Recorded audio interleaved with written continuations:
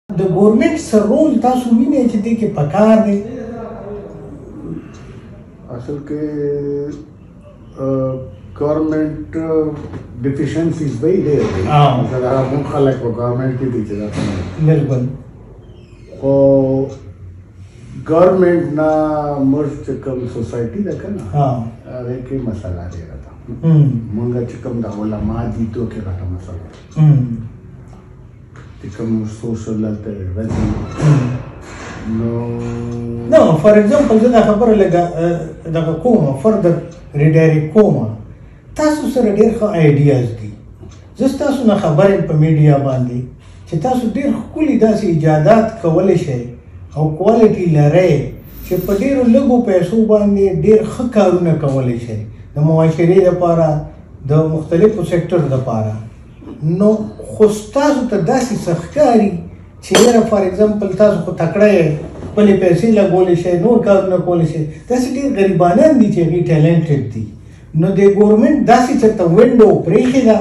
چې یو سړی هلته لاړ شي او هغه خپل ټیلنټ یوټیلایز کړي دا وایي که نه وایي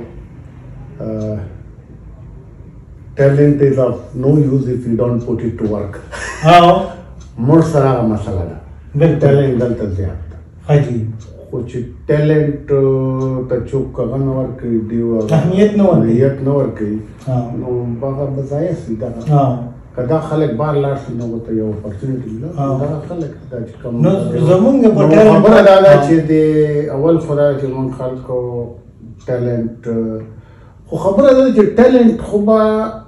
څوک کوي آیډنټیفای کوي آیډنټیفای کوي هغه خلک چې چاته د ټالنت پته نه لري کنه وتا ها چې کوم تا د ګورنمنت سیټ اپ جوړ کړ ها د تاسو ته لکه یو کومه ده یا چې کوم یو پروجیکټ هغه رین پمپ ولا کوو ها او البته زه په کې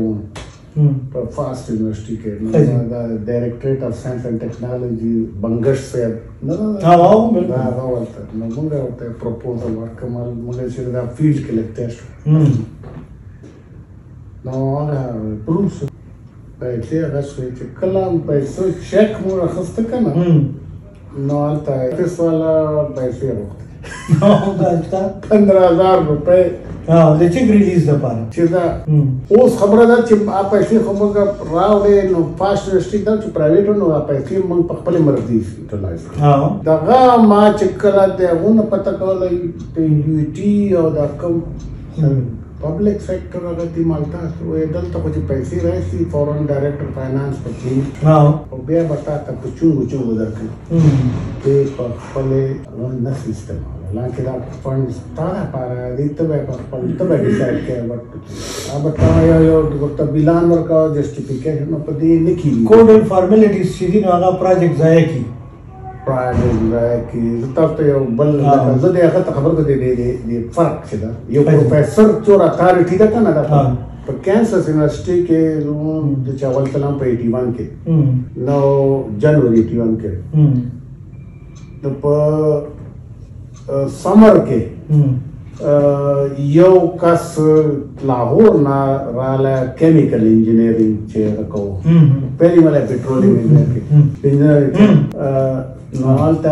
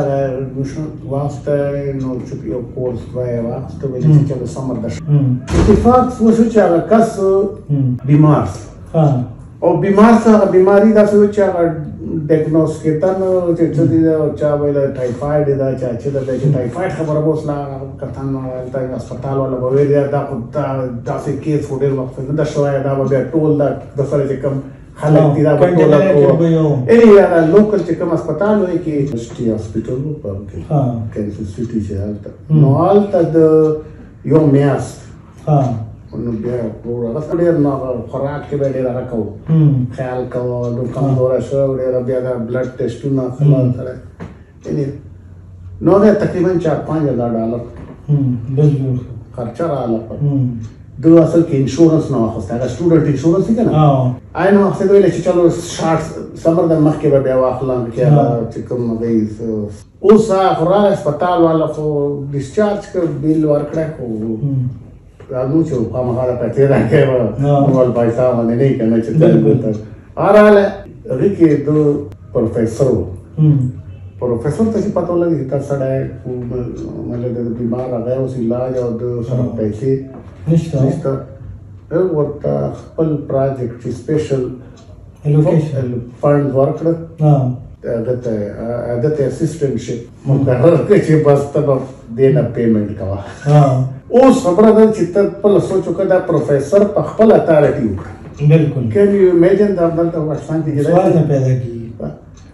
دا د فرق کی اتارټي په کار اتارټي چې چوپ پورې تاسو اتارټي نه کنه ته چې یو کار کوې که نه او ته مطلب دا انچارج دی او ته یو دی ریسپانسیبل نو اتارټي او پاور او ریسپانسیبیلیټي دا یو بل سره تړلي دا نه چې اتارټي بل چای ریسپانسیبیلیټي تای موږ دا څه ده نه سبا بالکل بالکل دا دا چې جنرالایز کوم فار ایگزامپل یو سټوډنټ هغه د ایران نه انډیا نه سعودي عرب نه تاسو لراځي دلته پیښور ته نو دا هغه د ریکوایرمنټ چې هغه ته به اکوموډیشن هم پکاري هغه ته به اډمیشن هم پکاري هغه به فیسیلیټیټ کول هم پکاري دا اتارټي پروفیسور سره شته نه ده سره نو دې مطلب دا دی چې هغه پروفیسور او هغه سټوډنټ په سیم لیول دي چې کله دا ریکوایرمنټس راشي نو هغه به څنګه ملمانه دلته راوغواړي لکه یورپین او امریکن سوسایټیز کې دا دي چې پروفیسور له یو سټوډنټ راغی که هغه پوسټ ډاک وو که هغه لیکچرر وو که هغه پی ایچ ډي سټوډنټ وو که هغه نور دغه کوي نو هغه سره د هغه د فاینانشل سپورټ اتارټي نشته هغه اکوموډیشن کې هم هغه سره هیلپ کولی شي هغه هیلت کې او مختلف سکتور کې هغه سره هیلپ کولی شي هغه اتارټي لري او مونږ چې یو نو مونږ دغه سي لکه د پیسو یوټیلایزیشن چې کوم مونږ اپروو کړی دي په خپل ټالنت باندې او په خپل پروجیکټ باندې د هغه د یوټیلایزیشن هم موږ سره اختیار نشته دلته یو بل سیز راځي چې موږ له فار ایگزامپل یو ډونر پیسې راکړي دا هغه پیسو درې میاشتې لا نشي او دې موږ ته لیټري شروع کیږي موږ ته پراګرس چې تاسو هم پیپر پبلش کړئ تاسو هم خلک ټرین کړو نو هغه دغه چې کوم هغه ورکولو والا خلک دي ډونرز دي هغه تم دا پته نشته چې د دې پیسو استعمال وسنګ کیږي لکه فار ایگزامپل یو پی ایچ ډی سټوډنټ لپاره فندینګ تاسو ته ملاو جو نو په 3 ایئرز کې خو دا دې جوګه شو چې هغه خپل تیسیس پوره کړي د 3 ایئرز نه پس به هغه د پبلیکیشن جوګه کیږي فندینګ تاسو ته ملاو شو نو په ایئر 1 کې او په ایئر 2 کې خو یې اکوپمنټ تاسو ته راشي په تھرډ ایئر کې تاسو اکوپمنټ باندې کار شروع کړئ نو دې د درو میاشتو نه تا په مخه باندې والی نو سړی لږ یو ډیسکریج غونتی شي چې ما ته بلا پیسې اسټابلیش شوي نه دي په خپل اکاونټ کې او ته بیا دا ډیماند شروع وکړو نو د دې مطلب دا دی چې د ایجوکیټډ خلکو هم کمی ده کنه ایگزیکټلی دا چې کم تا دا ډونر دا بیسیکلی دا موږ د پاکستانی چې کم متا پکې انوالو سی کنه دا ټول هغه هغه بالکل چې هغه دا او خو دوه اصل کې خپل دا سوچ تینکینګ دي چې دا پیسې هميلا او سیدا او پاسې پاسې درو در خرچ کی چې تبا په فرنیچر په واخلي چې تبا په گاډه په واخلي چې تبا نور دفتر په سیټ کی ته خو دوه مقصد دي کنه نو په دې خو بس دوه ټایم کې بدای کیږي مسا هغه راکا دوه خو سره ضرور غنسته بالکل ته ریسرچ سره کې تا اینډ پروډکټ پسې ته ته هغه سره دوه کنسرن نشته او کوډل فارمیلیټي څومره دي ایگزیکټلی او لکه تاسو چې وختي خبر وکړه چې یو اتارټي د په اداره کې هغه چیک هغه تراشي او هغه پکینی هغه تا ته ریلیز کوي کنه نو په هغه میاشتې او کلونه هغه